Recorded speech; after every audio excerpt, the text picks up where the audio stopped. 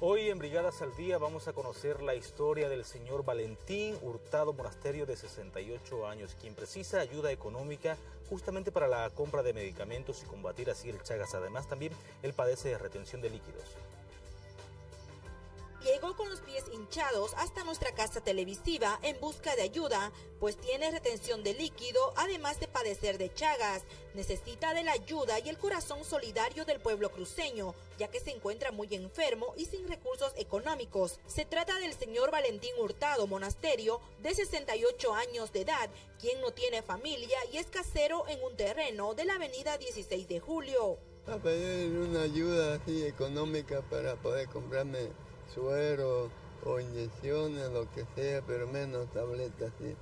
porque tengo chaga, tengo gastritis, tengo retención de líquido, tengo mal de los pulmones, del riñón, y mi hígado está grande, está crecido, no puedo, me enfermo siempre. Eh, quisiera una ayudita, por favor, que me ayude la ciudadanía. Eso sería para comprarme esos medicamentos. Necesita recursos económicos para comprarse tónicos, pues se encuentra débil y siente dolores en el cuerpo que no le permiten ni dormir. Me dan tabletas y no me hace nada ya.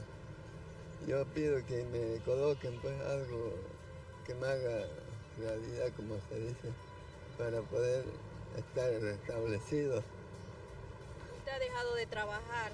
He, dejado de trabajar porque ya, ya no pude más.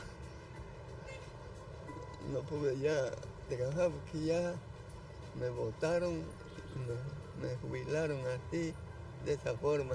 Por favor, pueblo cruceño, que me ayude, una pequeña ayuda para hacerme ver con un médico bueno, que sea médico, no, no aprendiz, no eso que lo.